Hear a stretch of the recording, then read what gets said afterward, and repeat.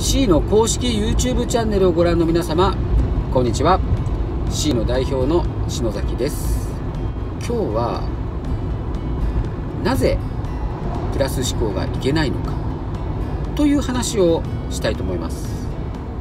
これはですねもちろんプラス思考が悪いわけではございません。そしてマイナス思考がいいわけでもありません。最後にじゃあどういう思考でいればいいのかという話もお伝えします。なぜプラス思考がいけないのか。ということなんですけれどもそのプラス僕が言ってるプラス思考がいけないプラス思考っていうのは生まれつき超絶プラス思考な人のことです。プラス思考の方っていうのは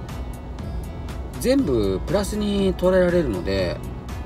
相手にもですね心ないこととかも結構言ってくるんですよ。なぜかというとそういうことを言われてもプラスに捉えられるから。相手に言ってもプラスに捉えてくれる。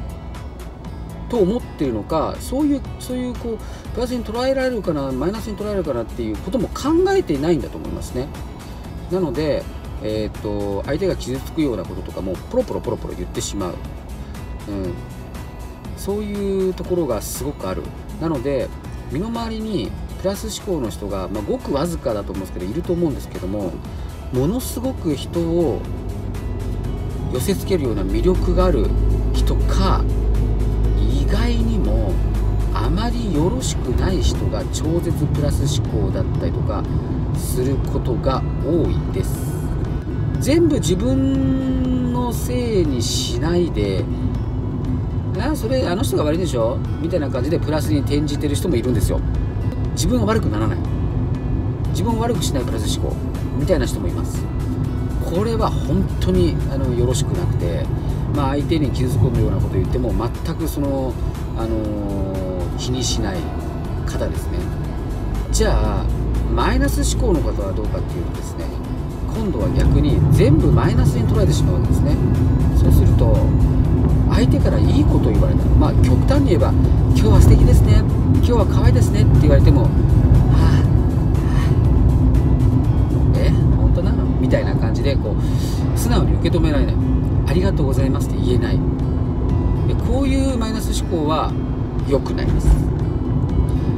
ではどういう風なマインドでいればいいんでしょうか？私たちは私はよくスタッフにも言っていますしあのー、いろんな表現の仕方があると思うんですけど僕的にはですねワントラッププラス思考って言ってるんですよ。これは僕が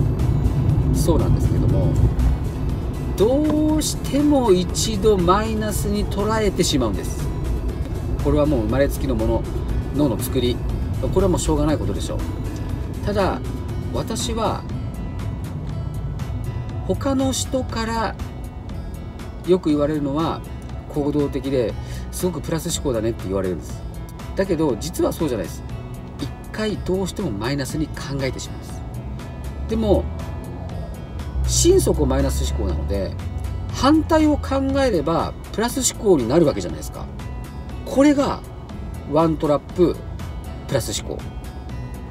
だって一回マイナスに考えるから一回ちょっとこうあ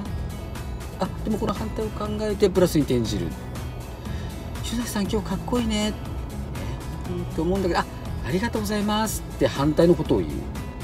そうすると相手にとってみれば「篠崎さんすごいプラス思考だよね」ってなるわけですね。でそうすると言われると嫌なこととかもすごくわかるんです。すごくわかるから相手に嫌なことっていうのはなるべく伝えない。そういうですねこうマイナスの部分っていうのもすごく持ってる。でこれはですね、まあ、僕的にはワントラッププラス思考と言いますけどプラスマイナスゼロ思考って言ってる人もいるんですね。なので、えー、いろんな言い方があるってことはやっぱりこう超絶プラス思考超絶マイナス思考っていうのはよろしくないんですよきっと、えー、なのでほとんどの人がマイナス思考なわけですからマイナスの部分を受け入れつつそういうこう否定的な自分も受け入れつつプラスに転じる。そういう人の方が他の人に好かれる。可能性が高いと思います。特に接客業の方とかはあまりにもプラス思考の人だと相手が嫌なこととかも結構分かりづらいです、嫌なこととかをされるのがもう本当嫌だこれとかいうことがないとうん相手にそういうことをやってしまうことが多いのでやはり、えー、マイナスの部分っていうのを受け入れつつプラスに転じていけばいいんじゃないかなと思います。はいそういうわけで今日も今日はですね春分の日ですね。3月21日。卒業式の方も多いです。今日も皆さん楽しく美容師の皆様はサロンワークしてみんなに笑顔を配っていきましょう。そして今日は夜ですね、えー、YouTube ではないんですけども Instagram の方でえっ、ー、とウルフスタイルのパーマカットのデモンストレーションをさせていただきますのでもし時間があれば是非になられてください。ということでこれで終わりたいと思います。質問はコメント欄か概要欄にあるメールアドレスにいただけると何でもお答えします。美容師の質問じゃなくても OK です。